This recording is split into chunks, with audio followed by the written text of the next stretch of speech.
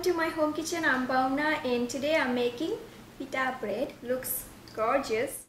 These pita breads are light and fluffy and so good fresh from the oven. Pita bread is a great bread for beginning bakers or for making with kids. This pita bread recipe is simple, quick, easy and makes perfect pita bread every time. You can use this pita bread then for pocket sandwiches, wraps, as a pizza crust or serve with the pita chips with hummus and salads. Pita bread is a fun and quick and easy. Today I'm using instant yeast to make this uh, pita bread quickly and kids especially really enjoy when you make pita bread at home when they puffs up like a ball they sure to enjoy the baking part and uh, you can also get some help while you knead the dough so it's really a family fun to make this pita bread. So let's start.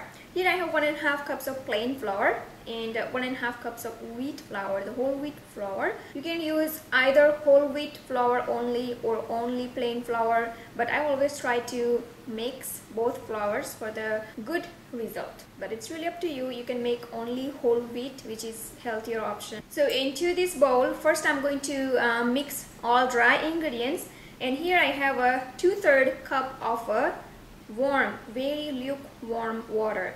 Whenever you use yeast make sure that you have a just a lukewarm water not too hot otherwise you're going to kill the yeast and your dough won't rise very well. And uh, here I have some olive oil. I like a little crunchy outside the pita bread little crunchiness outside and uh, soft inside and that's how I like my uh, pita bread. So I'm going to add a little bit more olive oil than usually the recipe requires but it's really up to you. You can uh, reduce the amount of oil.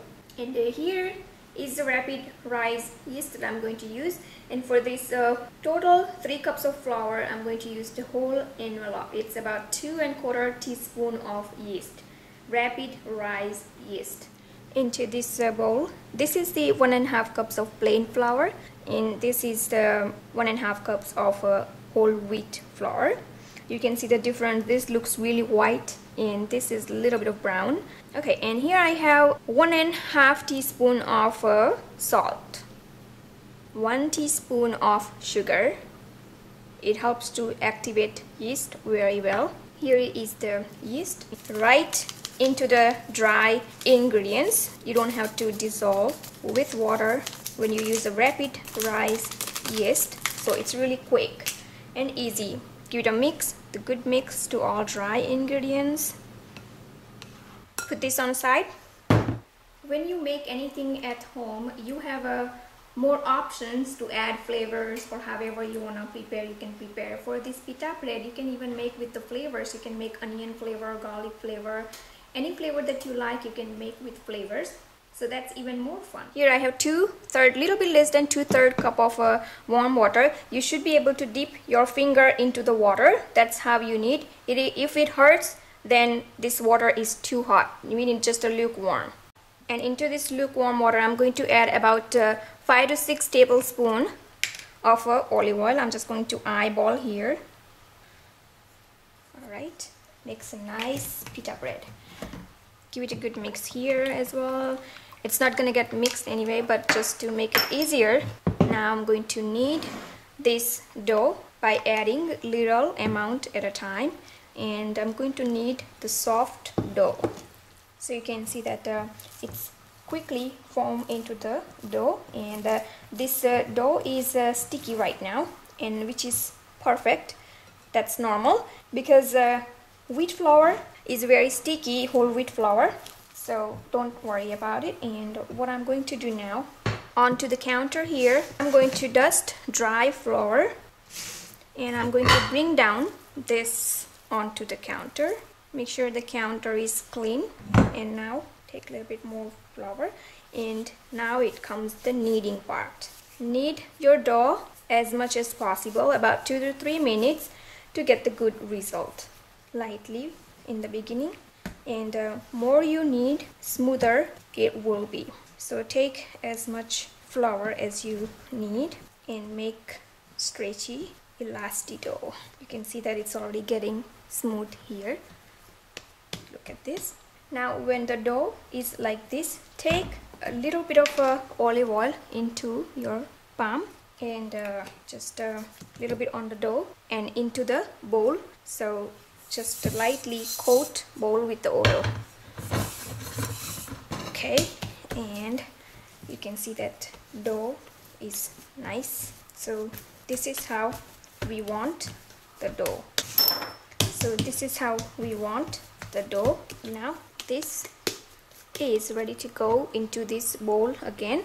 Put it like this. Cover it and let it rise about half an hour or till it gets double in a quantity I noticed one thing that when I use wheat flour it takes a little bit longer to rise than when you use only plain flour so if you are using only plain flour then it will rise it will get double in about 15-20 minutes only but I usually keep half an hour or till it gets a double in a quantity. The dough has been resting for about more than even half an hour now and I can see from the outside even that it has risen nice here. I'm also ready to roll now and I have here the baking tray. Now even after rolling you can allow it to uh, rise a little bit. It won't rise it won't get double but if you have a time you can uh, allow it to rise a little bit and then put it into the oven. And uh, I have already preheated my oven at 425 degrees 425 degrees Fahrenheit. And um, it takes only about six to eight minutes sometimes even less than but but when you use uh, whole wheat flour it takes a little bit longer than when you use only plain flour. When you use only plain flour, it takes about uh, 4 to 6 minutes only. In this case, we are going to keep close eye on it. It takes about 6 to 8 minutes. So when you open up the bowl, you can see that we had only a little bit of a dough and now it looks double. Take just a little bit of oil again into your hand. Just a little bit should be enough. And then again punch down this dough very well. And now I'm going to take a little bit bigger than a golf size of ball and uh, here I'm going to take a dry flour as well for the dusting. It depends how big you want to make your um, pita bread. And just a couple of times roll using your palm and then flatten it out a little bit. And then here I have the rolling pin and the rolling board.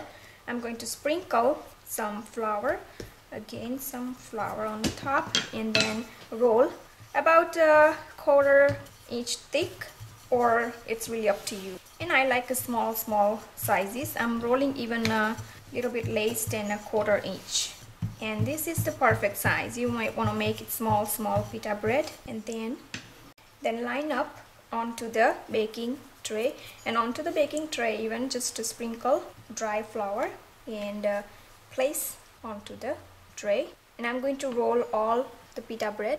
The oven is ready and uh, here I have uh, also rolled uh, four pita bread. I have uh, still more to go but I'm just going to do right now four. And uh, onto the middle rack and as I said when it when you pass about four five minutes close eye. Let me show you how they puff up. They puff like a pillow. And that's as I said earlier that's a fun part for kids. Today I'm missing my kids because they are not around me today. Let me show you quickly. Just I'm going to open it and close it again. You can see that. They look so look at the pita breads are ready to come out. And you can see that all of them has become like a pillow. Looks gorgeous.